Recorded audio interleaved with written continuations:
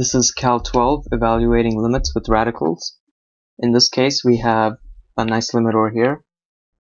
The denominator of our first term has our radical, so you want to get rid of that.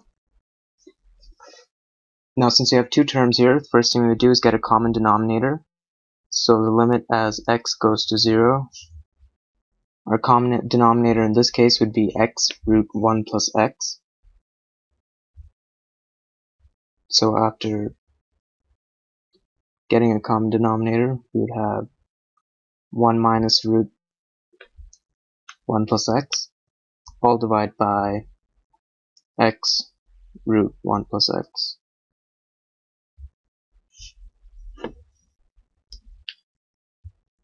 So your next step would be to multiply by its conjugate.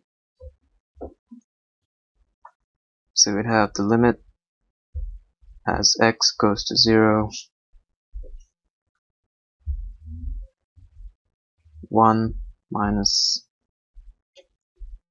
1 plus x over x times root 1 plus x multiplied by the conjugate. And the conjugate is the numerator in this case. So we take 1 plus root 1 plus x over 1 plus root 1 plus x. And we multiply the numerator and denominator After this, we would get limit as x approaches 0. So when you multiply them together, you would get 1 squared plus root 1 plus x. Oops.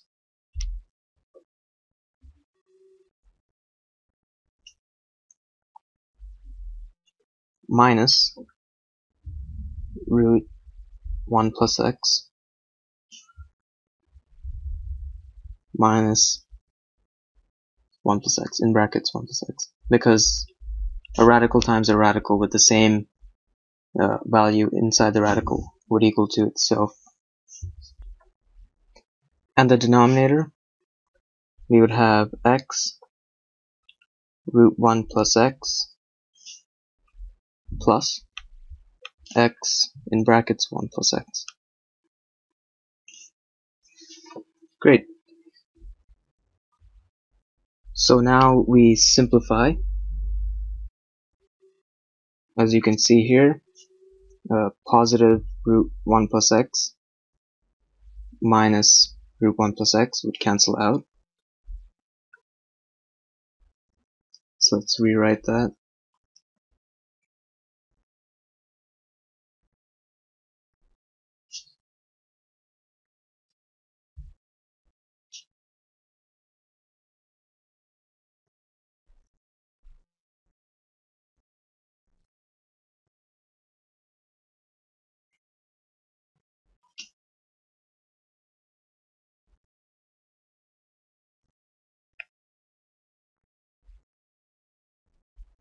Right.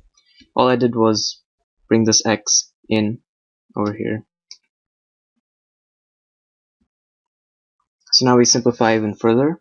We would cancel uh, 1 minus 1 is 0 and we would cancel the x's so x would go here once negative once so negative 1 and then cancel out x here also cancel an x here and one x from here. So let's rewrite the final product.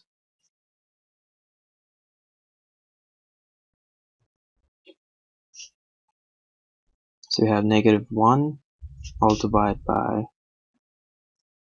root 1 plus x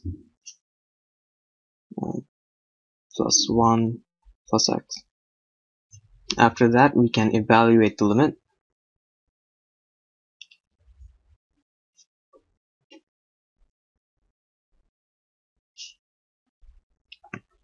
So basically we would substitute x in with 0.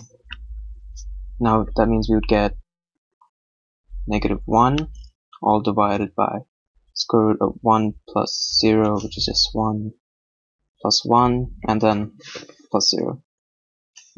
This would give us negative 1. Square root of 1 plus 1 is 2.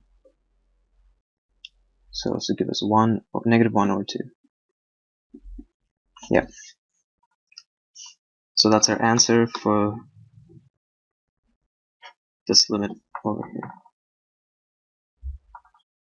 Thanks for watching.